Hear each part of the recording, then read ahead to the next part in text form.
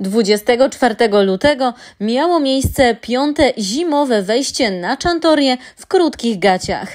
Dopisała pogoda i uczestnicy, a w programie nie zabrakło wydarzeń towarzyszących. E, No i wy dzisiaj e, w takich cudownych strojach, wiem, że się będziecie przebierać później i witać tam już wszystkich u góry. jako M&Msy. No właśnie. Ale też ważna jest akcja, którą promujecie. Dzisiaj jesteśmy tu głównie z jednego najważniejszego powodu. Fundacja DKMS, potencjalni dawcy szpiku, rejestrujemy dawców. No właśnie, czyli tam u góry można się zarejestrować. Będziecie zachęcać i opowiadać, mówić o tej akcji. Szczególnie z tego powodu, że ja od 6 lat jestem dawcą faktycznym. Mogę powiedzieć, że uratowałam życie pewnej dziewczynie z Bułgarii. No właśnie, i to takie historie chyba są ważne, że niekoniecznie trzeba się tego bać.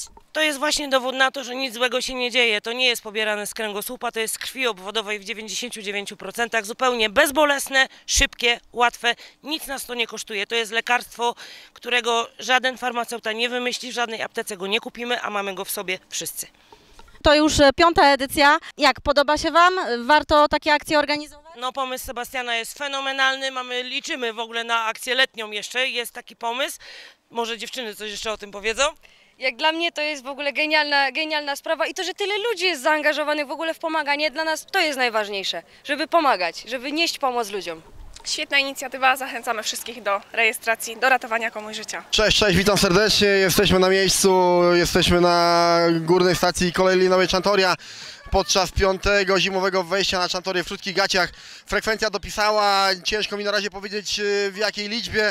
Y, Jak podsumujemy bilety, to dopiero to będziemy wiedzieć, ale wszyscy są uśmiechnięci, pogoda, pogoda jest, deszczyk nie pada, same uśmiechnięte buzie, puszki się zapełniają, więc jesteśmy bardzo zadowoleni, a cyfry podamy wkrótce. Dla portalu Śląska Cieszyńskiego XPL Marta Szymik.